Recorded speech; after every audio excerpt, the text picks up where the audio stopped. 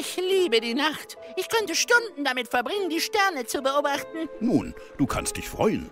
Unsere Polarnacht hat gerade erst angefangen. Sie wird sechs Monate dauern. Das ist genauso wie ich lebe, am Südpol. Aber warum dauert die Nacht mehrere Monate? Überall sonst dauert sie nur ein paar Stunden. Das ist nicht fair. Nun, warum versuchen wir nicht, wie Wissenschaftler zu denken? Klar, wir können Hypothesen entwickeln.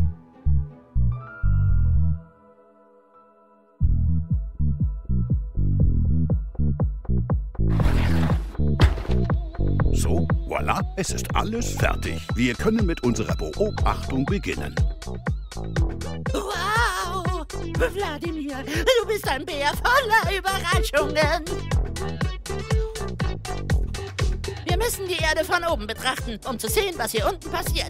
Ich kenne eine Stelle auf der anderen Seite des Eisbergs, die uns alle benötigten Dinge liefert.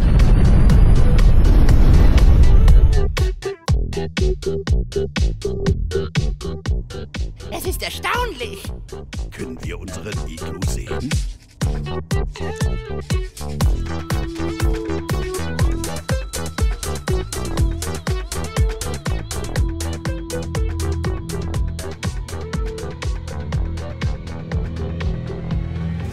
Bremst!